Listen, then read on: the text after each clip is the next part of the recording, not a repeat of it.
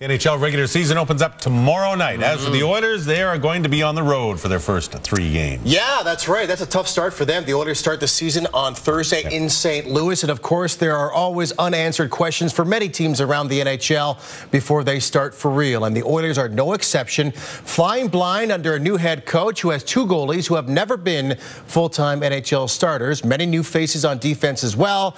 And then there is a 21 year old Russian rookie playing alongside the Phenom on the projected top line. Yes, Anton Slepyshev will start the season with Connor McDavid and Taylor Hall. Now, the team says he progressed nicely through camp after initially struggling at the Young Stars tournament in Penticton.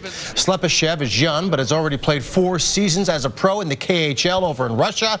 He's talented, but needed some help from Nail Yakupov while addressing the media today.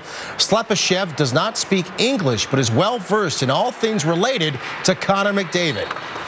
Ну, как о нем в Африке, наверное, знают, уже слышали. said they, everyone uh, they heard in Africa about him. So He's been awesome, actually. He uh, he doesn't know a lot of English, which is tough to communicate on the bench, but he battles. He's a big frame and he's got a really good shot. So for someone his age uh, to come in and make the team, I think, um, you know, it's it's kudos to him for for coming in prepared.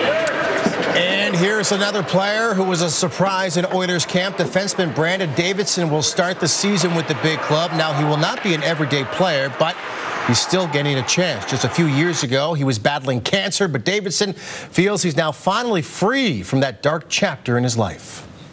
It's really been a whirlwind uh, for the last uh, four years here. It's been, uh, you know, uh, trying times for, for myself and and also for this hockey club as well. So, um, you know, I feel like I fit in. I feel like I belong. Uh, I had a great camp, and I was able to show them that uh, that I belong and that I can compete in this level. And um, I think uh, I think I'm being honored with uh, with a job here now.